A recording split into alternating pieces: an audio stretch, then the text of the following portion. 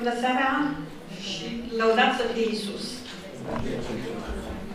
Avem bucuria în seara aceasta să o avem ca invitată pe doamna, distinsa doamnă Antonia Tali, coordonatoarea programului Safe at School, în siguranță acasă, al Societății pentru Protecția Copilului Nenăscut, desfășurat în Marea Britanie.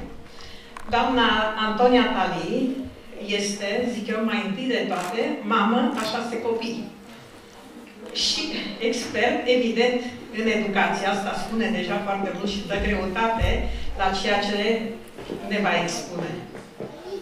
Ehm, dânsa a sprijinit părinții din Marea Britanie în relația lor cu școala și cu autoritățile privind educația sexuală, orele de educație sexuală în școli. Doamna Antonia Tali a vorbit și vorbește în numeroase uh, întruniri, conferințe, ca și cea de astăzi. Vom afla în seara aceasta ce implicații are acest sistem uh, educațional, ce ascunde el, care sunt pericolele lui. Știm că la noi în țară Problema educației sexuale în școală se discută tot mai mult, educația sexuală din școli se discută tot mai mult la nivel de Minister al Învățământului și Ministerul uh, Sănătății. Sunt lucruri pe care uh, poate puțin, uh, puțin le cunosc. Ele sunt în desfășurare, sunt cuprinse, spre exemplu, în strategia privind sănătatea pe perioada 2014-2020 la noi în țară.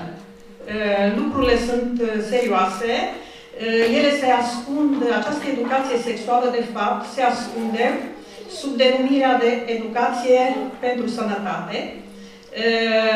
Educația pentru sănătate, de fapt, se va desfășura conform programei OMS privind educația sexuală.